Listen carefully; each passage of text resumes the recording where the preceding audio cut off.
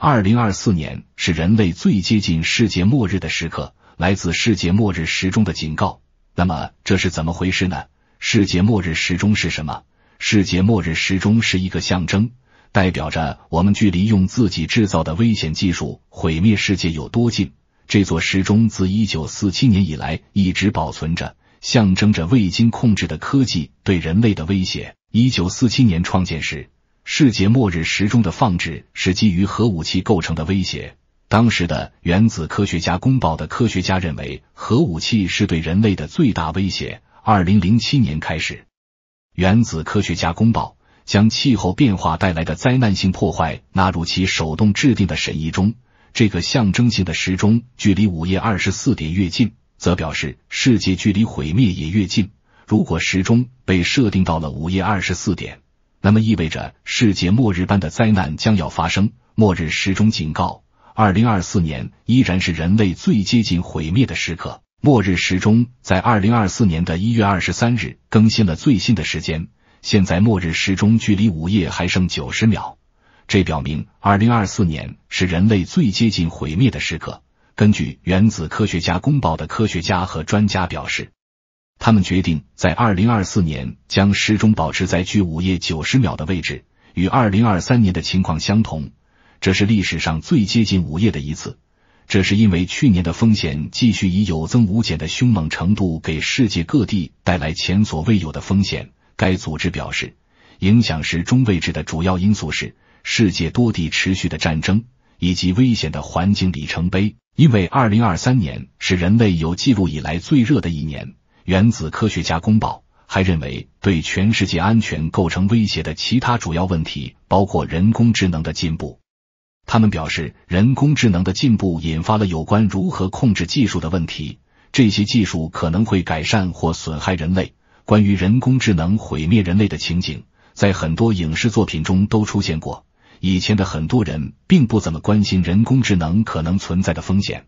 那主要是因为当时人工智能的发展还相对比较缓慢，而随着最近人工智能的快速发展，让人们意识到了它们存在的一些风险。就在二零二三年的时候，数百名人工智能领域的知名人士签署了一封公开的信件，警告人工智能有一天可能会毁灭人类。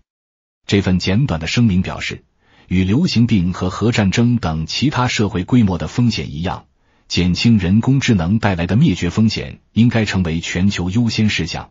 其实，大家仔细想想也能明白，为什么有人担心人工智能可能存在的威胁。随着人工智能的发展，他们可以代替人类去做一些事情。当人工智能系统被赋予了越来越多的自主权，并将它们连接到重要的基础设施，包括电网、经济，甚至是武器系统的时候，如果不加以控制，它们可能会引起问题，而气候变化也是老生常谈的一个问题了。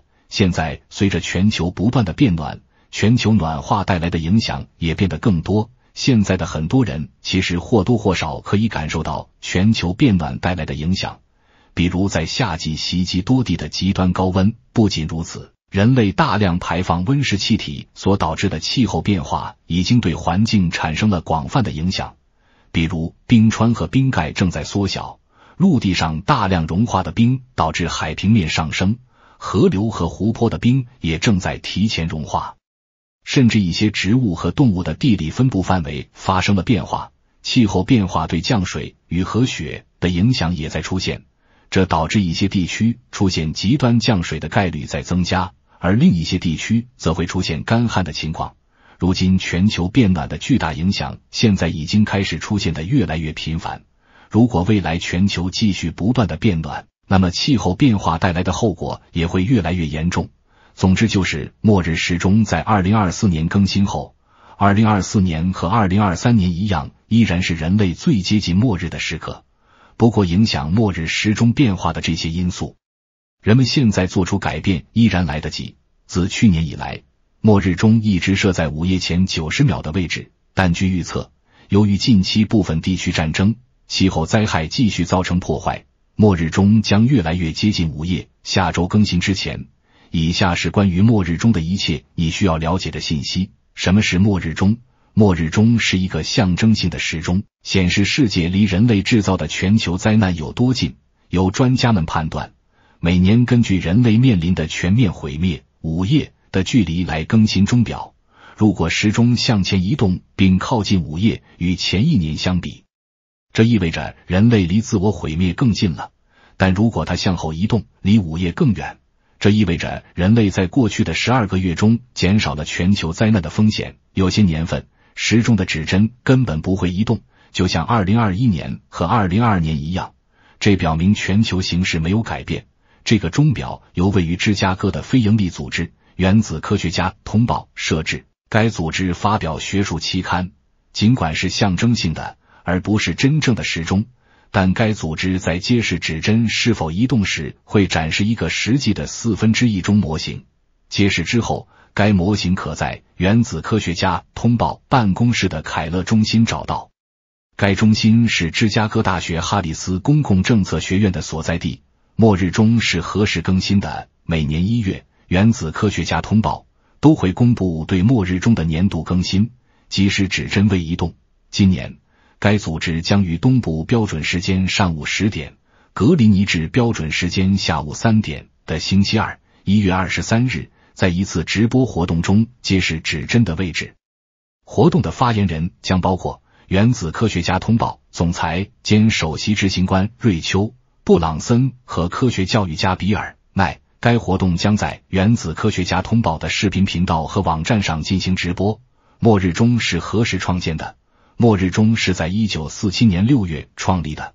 当时，美国艺术家 M. Art Lansdorf 被聘请为原子科学家通讯。杂志设计一张新的封面。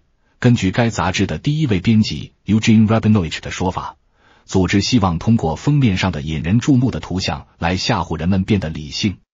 这发生在公众对原子战争和武器担忧的背景下。就在第二次世界大战结束后的两年，Lansdorf 最初考虑绘制油的符号，后来画了一个时钟来传达紧迫感。他将时钟设定为午夜七分，因为在我眼中看起来不错。Lansdorf 后来说，在随后的几年里，每当我们接近灾难时，时钟的指针都会调整。二零零九年，原子科学家通讯停止了印刷版，但该钟每年仍会在其网站上更新，现在成为科学日历中备受期待的亮点。谁决定时间？在创立之后不久，原子科学家通讯的编辑 Eugene Rabinowitz 决定是否应该移动指针。Rabinowitz 是一位科学家，精通俄语。并在和裁军的讨论中发挥领导作用，这意味着他经常与世界各地的科学家和专家进行讨论。在考虑了这些讨论之后，他会决定时钟是否应该前进或后退。至少在时钟存在的最初几十年里是这样。一九七三年他去世后，由核技术和气候科学专家组成的通讯科学与安全委员会接手了这一工作。这些专家中包括多年来的十三位诺贝尔奖获得者。该小组每年会面两次，讨论全球正在发生的事件，如乌克兰战争，以及是否需要调整时钟。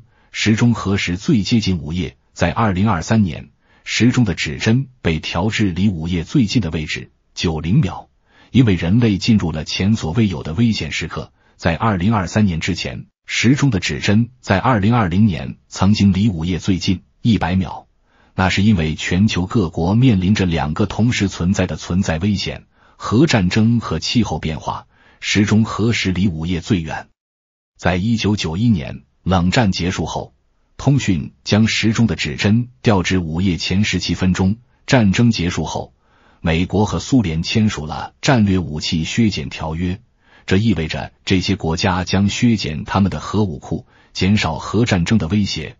末日钟会在二零二四年到达午夜吗？在下周更新时，时钟不会达到午夜，因为这意味着人类正处于完全毁灭和自我毁灭的边缘。二零零七年，通讯开始将末日钟纳入其调整指针的讨论中，包括气候变化所引起的灾难性影响。今年的决策很可能会考虑到气候问题，因为过去十二个月，科学家们一再警告世界变暖的代价。过去七十五年来，时钟离午夜有多近？末日时钟越接近午夜，人类就越接近毁灭。今年，末日时钟维持了去年九十秒的设定，表明科学家们认为导致世界走向毁灭的险恶趋势仍在持续恶化。